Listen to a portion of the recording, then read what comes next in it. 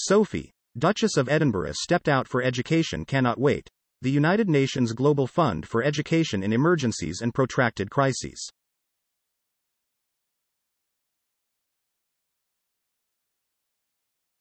Sophie, Duchess of Edinburgh is a royal style icon, and she looked characteristically fabulous yesterday at a meeting for education cannot wait.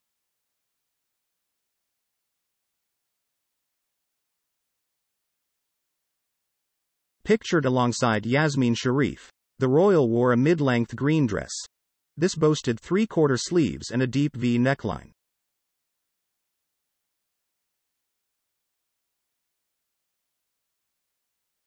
Sophie's dress was the Stormy Hearts midi tea dress by Suzannah London, a royal favorite designer.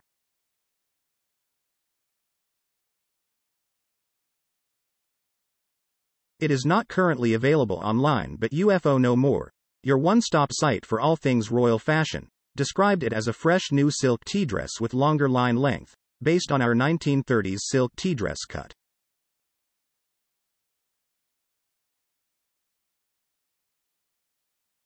Our tea dress is a signature tea dress style because of its flattering nature, unique charm and versatility.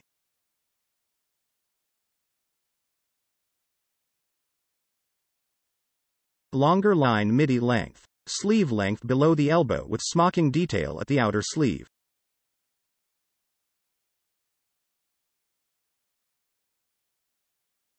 Center back zip for step in ease. Wear for day with tights boots and cashmere, or style up for events with chic millinery, a sharp blazer and high sandals.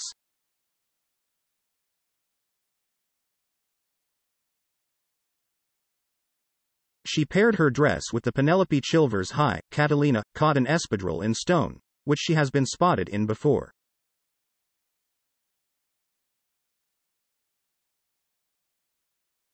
She recently wore these when she met adorable guide dog Piper who is due to retire after 10 years of service.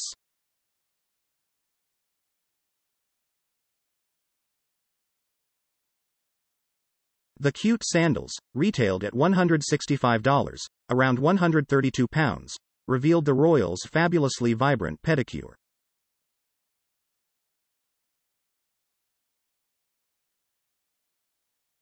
Her burnt orange toenails were lovely, although not super typical of royal women.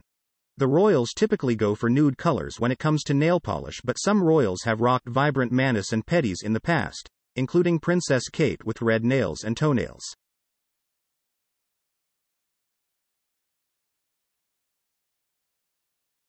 Dana Barrowman, marketing manager at Jewelrybox, once told Express.co.uk Royal women have favored nude shades of nail paint over bright or dark nail paint.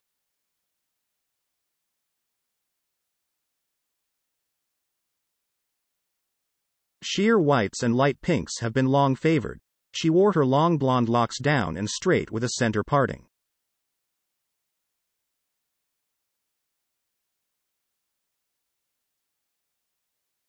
Her makeup was the perfect daytime look, featuring nude lips and rouged cheekbones.